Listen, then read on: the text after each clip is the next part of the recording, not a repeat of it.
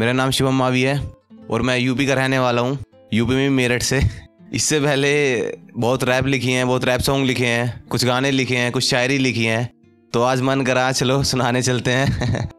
तो मैं सर का शुक्रिया अदा करता हूँ कि ये मंच प्राप्त करवाया हमें। तो टाइम इतना नहीं है कि मैं अपना पूरा इंट्रो दे सकूँ। तो चलो, शुरू करते हैं। अपने आप से शुरू करूँगा कि रात के साय में उजाला कहाँ है? रात के साय में उजाला कहाँ है? इस दुख भरे सफ़र का पाला कहाँ है? ठोकरे, खाना मेरी आदत हो चुकी है। मैं खुद संभला हूँ। मुझे किसी ने संभाला कहाँ है? एक शायरी है, शायरी लिखते कब हमें? जब हम किसी चीज़ को देखते हैं तो मेरे दोस्त हैं, वो सारे आशिकी करते हैं पूरे। आशिकी तो मैं भी करता हूँ, पर इतने नहीं करता। एक शायरी लिखी थी, बहुत अच्छी है, बहुत गहरी है, कि याद रखना ज़िंदगी में एक लड़का आया था। कि याद रखना, ज़िंदगी में एक लड़का आया था, कैसा दिखता था वो और कैसा उसका साया था। वो मोहब्बत करता था तुमसे, ये उसने तुम्हें बताया था।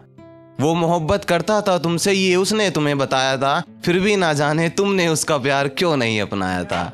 बस याद रखना, ज़िंदगी में एक लड़का आया था। कि आहिस्ता आहिस्ता वार किया करो, झूठा ही हमसे पर प्यार किया करो। आहिस्ता आहिस्ता वार किया करो, झूठा ही हमसे पर प्यार किया करो। कितनी दोपहरी तेरी बाट में गुजर गई, कभी तुम भी हमारा इंतज़ार किया करो। ज़िंदगी कैसे चलानी है?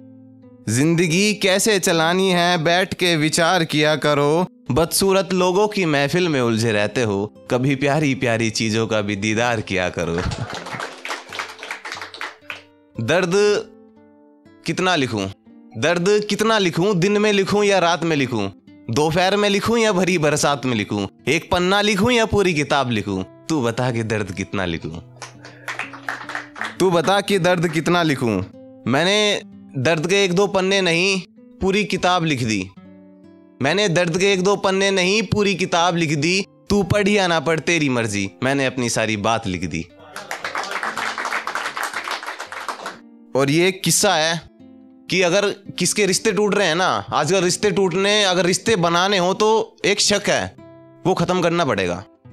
शक की वजह से ही प्यार, मोहब्बत के रिश्ते हों या फिर अपने के रिश्ते हों, वही टूटते हैं। तो एक लड़का और लड़की का रिश्ता है तो ध्यान से सुनिए थोड़ा सा कि एक घटना का उद्घाटन हुआ मेरे सामने। एक घटना का उद्घाटन हुआ मेरे सामने, सच्ची दोस्ती का उदाहरण बस दिया मेरे राम ने।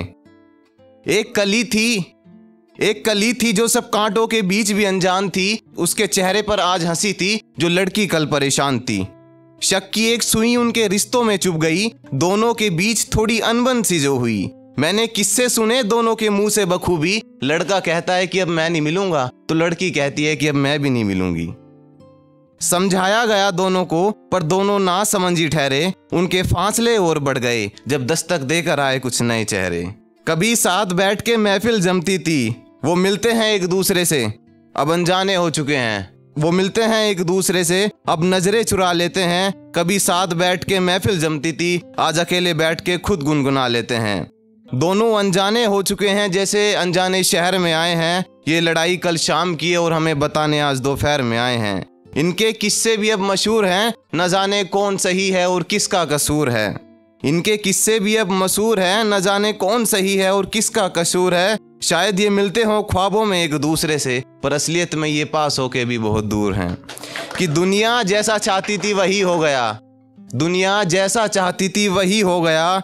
कि दुनिया जैसा चाहती थी वही हो गया। वो लड़की सफ़ाई देती देती हार गई। वो लड़का घर जाके सो गया। मैं मिला था उस लड़की से। मैं मिला था उस लड़की से तो कहती है कि मैं ज़्यादा नहीं सोचती। मैं मिला था उस लड़की से तो कहती है कि मैं ज़्यादा नहीं सोचती, मैं भूल गई उस लड़के को और भूल गई उसकी दोस्ती। Thank you